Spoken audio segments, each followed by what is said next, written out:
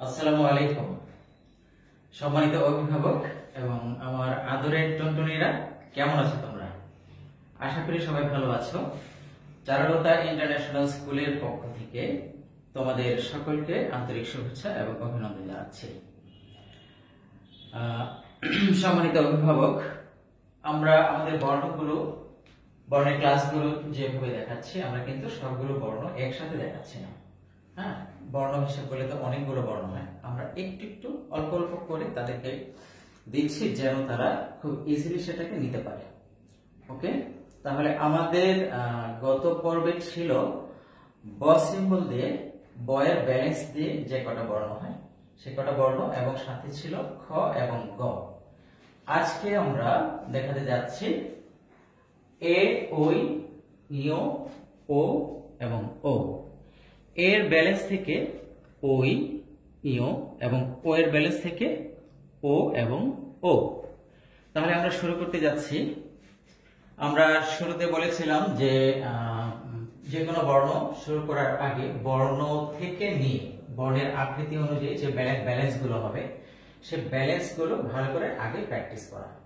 আমাদের যে বাংলা খাতা আছে, সে বাংলা খাতার মধ্যে দশটা রোলটা ঘর আছে ঠিক আছে? সেই দশটা রোল টানা ঘরকে আমাদেরকে কাজে লাগাতে হবে। যেরকম আমরা এটা দেখতে পাচ্ছি যে এ, আমরা এ থেকে শুরু করব, কিন্তু এ এর গঠন অনুযায়ী এর ব্যালেন্সগুলো কি কি আসতে পারে? আমরা সেটা দেখে নিই আগে। এ আমরা দেখতে পাচ্ছি যে এর প্রথমে হচ্ছে শূন্য। এই শূন্যটাকে আমরা ডান দিক থেকে ঘোরাবো। ঠিক আছে? আমরা বলেছিলাম যে আমাদের বাংলা বর্ণমালার মধ্যে অনেক বর্ণের মধ্যে কিন্তু এই গোল চিহ্নটা আছে। কোন কোন চিহ্নের মধ্যে আমরা ডান দিক থেকে ঘোরাই এবং কোন কোন বর্ণের ক্ষেত্রে আমরা বাম দিক থেকে ঘোরাই। যেমন খ লিখেছিলাম হ্যাঁ? এইভাবে করে বর্ণ অনুযায়ী। তো আমরা এই শূন্যটাকে ডান দিক থেকে ঘোরাবো। যদি আমরা অনেক ডিটেলসে যাই, তাহলে প্রথমত যদি আমরা শূন্যটাকে দেখি, এই দাগ আমরা এই এই ঘর এবং এই ঘর, এই দুটোকে নিয়ে আমরা একটা ঘর হিসাব করছি। একটা ঘর হিসাব করলে আমরা একদম এই ঘরের যে মিডল মিডলের মধ্যে আমরা এই শূন্যটাকে প্র্যাকটিস করব। ডান দিক থেকে শূন্যটা এভাবে করে আসবে। ঠিক আছে, আমি যদি অ্যারো চিহ্ন দিয়ে দিই সম্মানিত অভিভাবক, আমাদের এই লেকচারের নাম্বার হচ্ছে লেকচার নাম্বার টু শ্রেণি প্লে এটা ইংলিশ ভার্সন এবং বাংলা মাধ্যম উভয়ের জন্যই প্রযোজ্য। আচ্ছা আমরা চলে যাচ্ছি ব্যালেন্সে তো এটা ডান দিক থেকে ঘুরে আসবে।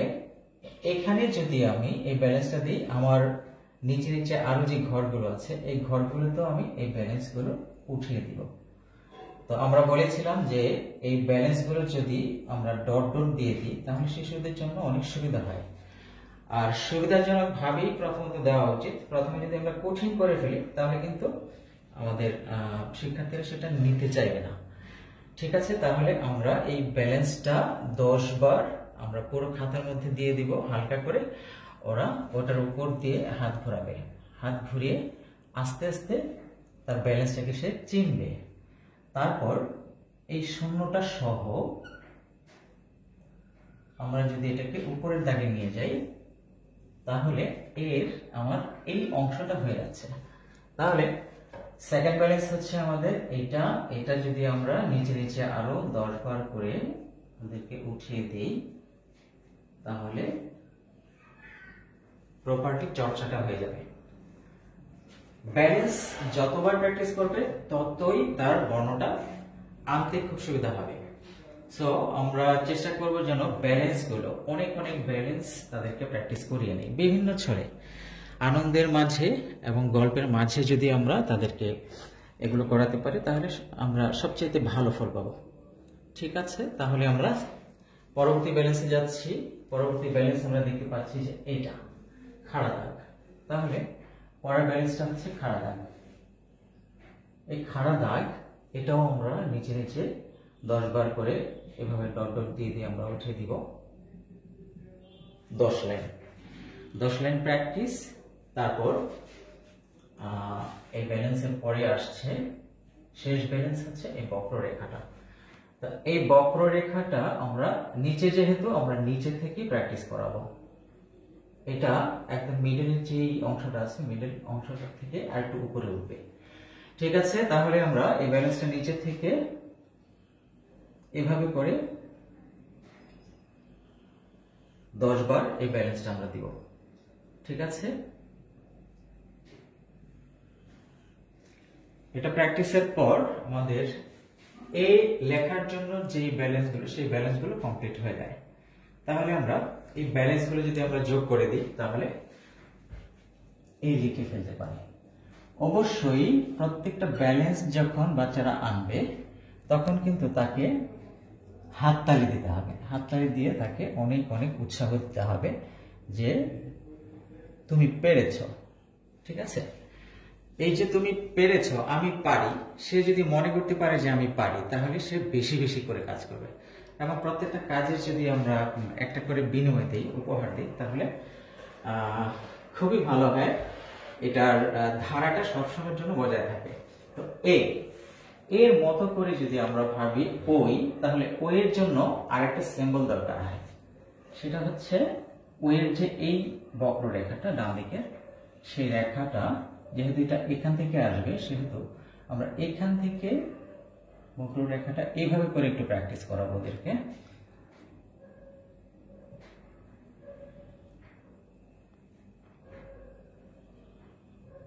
দশবার।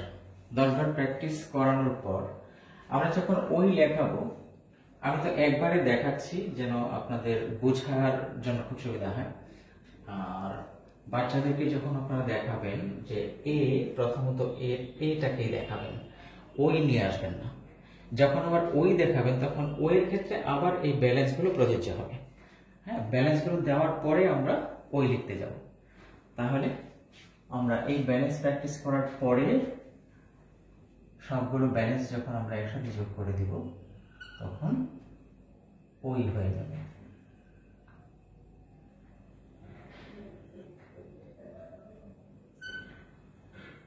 ওই ওইয়ের এই বক্র রেখাটা আমি যদি খাড়া থেকে এভাবে একটা পার্টিশন দিই, তাহলে পার্টিশন ভেদ করে ওদিকে যাবে, অবশ্যই। ওইটাকে যদি আমরা এইভাবে লিখি যে এখান থেকে এইভাবে যদি আমরা বক্রটা দিই, তাহলে হবে না।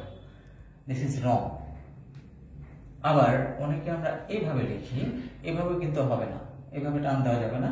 অন্তত শিশুদের সামনে আমরা এই ধরনের অবান্তর যে ব্যালেন্সগুলো বা দাগগুলো সেগুলো আমরা দিব না। তাহলে হয়ে গেল আমাদের ওই। তো এ থেকে আমরা দুটো বর্ণ পেয়ে গেলাম। এ ব্যালেন্স দিয়ে ওই এবং এই ব্যালেন্স দিকে তোমরা আমরা বর্ণটাকে আমরা পেয়ে যাই। তাহলে আমি একটু এখানে মুছে দিচ্ছি ব্যালেন্সগুলো। আপনাদের সুবিধার্থে থাকুক, আমি এখানে দিচ্ছি।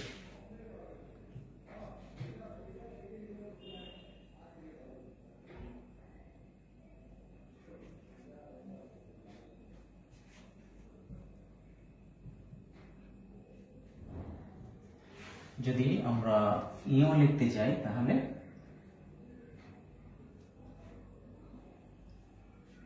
এ, তারপরে এখান থেকে উপরের দিকে নিয়ে যাব, তারপর শূন্যটা রাউন্ড ঘুরে আবার এখানে আসবে। তাহলে ইও এর এই ব্যালেন্সটা যদি আমরা ক্রিয়েট করি, তাহলে কি কি লাগবে? এইভাবে একটা ব্যালেন্স লাগবে। এইভাবে ব্যালেন্সটা আমরা আবার দশ বার তাদেরকে উঠিয়ে দেব, তারা প্র্যাকটিস করবে। প্র্যাকটিস করার পরে এই ব্যালেন্সের পরে আমরা দেখতে পাচ্ছি এখানে একটা তিনের মতো করে একটা ব্যালেন্স আছে। এই তিনের মতো করে ব্যালেন্সটা আমরা এখানে দিয়ে দিব। ঠিক আছে? তাহলে এটা একটা যোগ করলে আমাদের এই ব্যালেন্সটা গঠিত হয়। অতপর আমরা ইওটা লিখতে যাব। আমি আবার দেখাচ্ছি। এর ব্যালেন্সগুলো দিয়ে এ এবং পরবর্তী ব্যালেন্সগুলো যোগ করে ইউ এবং এটা যখন আমরা আনব, তখন যেখান থেকে শুরু করেছিলাম, ঠিক সেই বরাবর গিয়ে এটা যোগ হবে। তাহলে কাঠামোটা সুন্দর হবে। তাহলে আমাদের এ ওই এবং ইও তিনটি বর্ণ হয়ে গেল একই রকম ব্যালেন্স দিয়ে। এভাবে করে আমাদের বর্ণগুলো সবগুলো শেখাতে খুব অল্প সময়ের মধ্যে আমরা বর্ণগুলোকে নিয়ে আসতে পারি। ওকে তাহলে আমরা পরবর্তী বর্ণ ও এবং ও লিখতে যাচ্ছে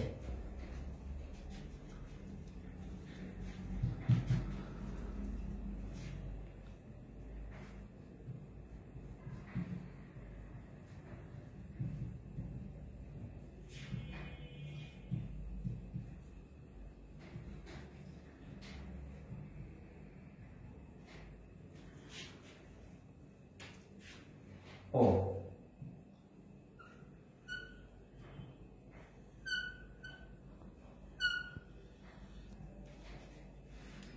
সম্মানিত অভিভাবক, আপনারা দেখতে পাচ্ছেন ও ও যে আকৃতির একটি বর্ণ, এই বর্ণটাকে যদি আমরা ব্যালেন্সে ভাগ করি, তাহলে প্রথমত ওই ব্যালেন্সটা আসে।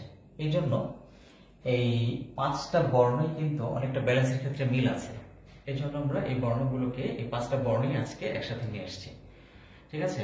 বর্ণ তো আমাদের অনেক, সবগুলো বর্ণকে একসাথে আনলে কিন্তু আবার তালগোল পেতে যাবে। মানে সেটা এলোমেলো হয়ে যাবে। তো সুন্দরভাবে যেন তারা নিখুঁতভাবে শিখতে পারে, সেজন্য আমরা অল্প অল্প বর্ণ দিচ্ছি এবং এগুলো খুব সুন্দর করে সময় নিয়ে আপনারা বাচ্চাদেরকে করাবেন ওকে, তারপর আমরা ওকে ভাঙতে যাচ্ছি। একই রকম করে ওই ব্যালেন্স ডান দিক থেকে ঘুরবে। আমি চিহ্ন দিয়ে দিচ্ছি। ডান দিক থেকে ঘুরবে, তারপর একই রকম করে আবার উপরের দাগে যেয়ে মিলবে। এটাও দশ বার আমরা উঠিয়ে দিব আলাদা পাতায়। একই পৃষ্ঠায় না কিন্তু। আমি এখানে দিচ্ছি যেভাবে, এগুলোকে আপনারা আলাদা আলাদা করে নেবেন। আপনাদের সুবিধা মতো করে। ঠিক আছে? এবং প্রত্যেকটা পেজ যখন কমপ্লিট হবে, তাকে স্টার দিতে হবে ভেরি গুড দিতে হবে। ঠিক আছে? প্রণোদনা যতটুকু দেওয়ার দরকার, ততটুকু দিতে হবে। তারপর পরবর্তী ব্যালেন্সটা আসছে, এটা নিচের দিকে। তাহলে আমরা নিচের দিকে যেটা এটা সহ নিতে হবে। এই ব্যালেন্সটাকে সহ এভাবে এনে নিচের দিকে আনতে হবে।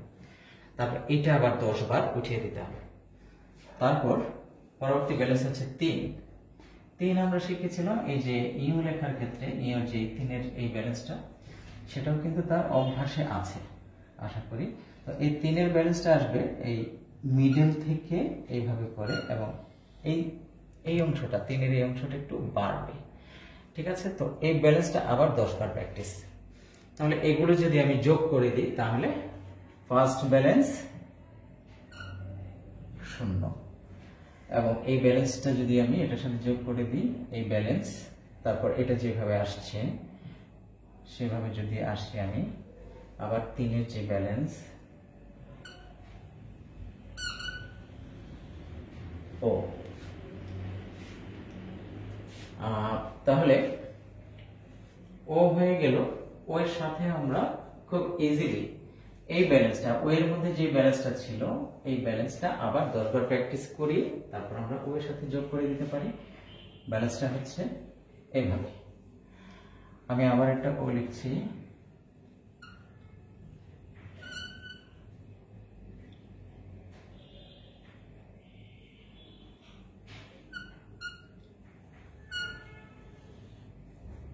ব্যালেন্সটা ঠিক এই শূন্যটা আছে শূন্যের মাঝখান থেকে কোন বরাবর এখান থেকে টাচ করে এভাবে করে উঠে এদিকে আসবে। এখানে একটা- জিনিস লক্ষণীয় ওয়ের যে সাইড ঘেসে যদি আমি একটা দাগ দিই, তাহলে এই দাগটাকে বক্ররেখাটা এই দাগটাকে অতিক্রম করবে। একই রকম ভাবে যদি আমি বলি যে ওকে আপনি যদি এইভাবে করে দেন মানে যে কোনো রকম করে দিলে হবে না, এইভাবে করে বা এইভাবে করে দিলেও হবে না। ঠিক আছে? তাহলে ও এর ব্যালেন্স দিয়ে মিল রেখে আমরা ও পর্যন্ত শিখে ফেললাম আচ্ছা, তাহলে আজকে আজকে ক্লাসে আমরা পাঁচটি বর্ণ শিখলাম। একই রকম ব্যালেন্স দিয়ে খুব সহজ করে। ঠিক আছে? তাহলে ছোট্ট বন্ধুরা তোমাদের বলছি এবার দেখো তো দেখি আমরা এ লিখেছি তাই না? এ লিখেছি এ এ দিয়ে কি হয়? এ দিয়ে একতারা হয়। দেখো, এটা কিন্তু একতারাটাকে ধরে আছে। তাহলে এ দিয়ে একতারা একতারা কি? এক দ্বারা একতারা দিয়ে আমরা গান বাজনা করি, তাই না? ঠিক আছে, তাহলে এ ফর এ দিয়ে একতারা ওই দিয়ে ঐরাবত দেখো, এটা হচ্ছে তুমি। তুমি হাতির উপরে উঠে আছো। ঐরাবত মানে হচ্ছে হাতি, ঠিক আছে? ওইতে ঐরাবত। আবার এখানে ইও দেওয়া আছে। ইওতে হচ্ছে মিয়া। মিয়া ভাই হেঁটে যাচ্ছে, ঠিক আছে? ইওকে কাঁধে করে। আবার দেখা যাচ্ছে যে একটি ঝুড়িতে ওল। ওল কীভাবে হয়? ওতে ওল হয়, ঠিক আছে?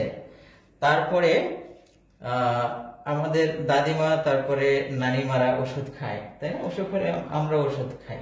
তাহলে ওতে ওতে কি হয়? ঔষধ হয়। তাহলে তোমরা এই শব্দ গঠনগুলো তোমার আম্মু সাথে সুন্দর করে প্র্যাকটিস করবে। ঠিক আছে?